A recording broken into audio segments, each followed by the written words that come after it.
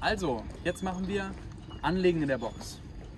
Anlegen in der Box, so wie wenn auf engem Raum, muss man das nicht unbedingt unmittelbar oder als Pflichtmaßnahme der Prüfung zeigen, wenn man seinen Bootsschein macht. Gehört aber zum einen zum Standard-Skillset eines Bootsführers dazu, aber zum anderen ist es häufig auch als Zugabe zu sehen. Also wenn man dann das Anlegen nicht so wundertoll gemacht hat, dann will der Prüfer vielleicht auch mal sehen, dass man auch, äh, wenn auf engem Raum kann oder eben auf dem, äh, in der Box anlegen kann. Schaut mal gerne auf die Box da drüben und zoomt euch gerne mal ein bisschen rein. Wir haben da zwei Segelboote, zwei Trias und zwischen diesen beiden Trias werden wir gleich einparken. Schaut mich gerne an. Und wir werden jetzt genau wie beim anderen Anlegen einen Drifteffekt nutzen. Also eigentlich gibt es zwei Strategien, wie ich jetzt in eine Box anlege, also reinfahre in eine Box.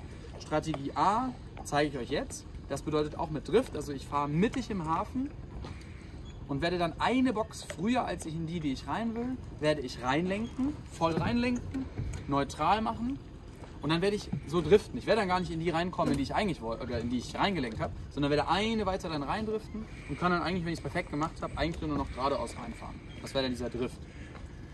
Strategie B, für die, die nicht gerne driften, ähm, die können auch einfach auf Höhe der Box fahren, aufstoppen und wenden auf engem Raum 90 Grad und reinfahren. Also in die Box reinfahren ist eigentlich kein großes Hexenwerk, da gibt es auch keine großartigen Zeitpunkte, wo man irgendwie was wo man irgendwie was verpassen kann. Also das ist kein großes Ding. Häufig passiert es den Leuten, dass sie eben den Drifteffekt nicht einkalkulieren, den sie dann haben, wenn sie das Ruder rumlegen mit Standgas.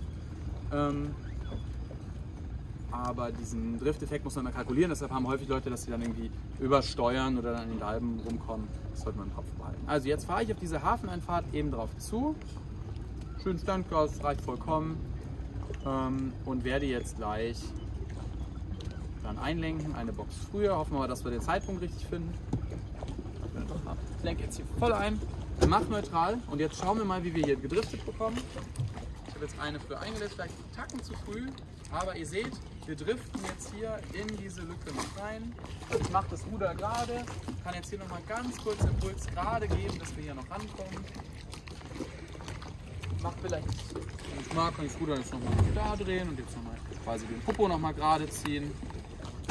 So, aber ihr seht, wenn ihr jetzt rechts und links schaut, wir fahren gerade schön an den Dalben rein und können hier wirklich immer nur mit kurzen Impulsen, mit kurzen Impulsen dann reinfahren. Immer nur einen kurzen Impuls geben, lenken, wieder ausmachen. Wir treiben ja noch. Und wenn wir dann gleich die Leiter vor uns haben, dann können wir auch aufstoppen.